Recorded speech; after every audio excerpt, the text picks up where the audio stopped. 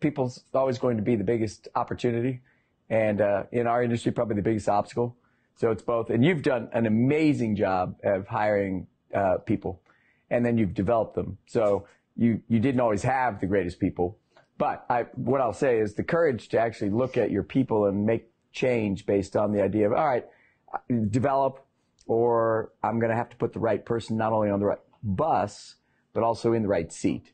And so I, I just applaud you for having the courage and the wisdom to see that and then make the changes. So it's easy for somebody like me or Drew to actually see it.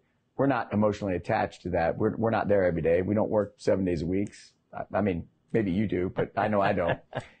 but the, the point is you saw the problem and you made the changes and you've brought people in that were better uh, cultural fits and culture is what you drive. So you haven't talked about culture, but you have one of the best cultures of any company in the industry. A lot of people talk about what's the greatest brand in the industry. I'm not sure that you're not in that conversation. You're not the largest sales dollars company in the industry, but that's not the question. What's the greatest brand isn't about sales. It's about what is the greatest culture and who would you want to go to work for? Where do you want to be? And I would answer Advantage is probably one of those companies. So that's a, a testament to you and your leadership team. And so your choice of people, it's always people.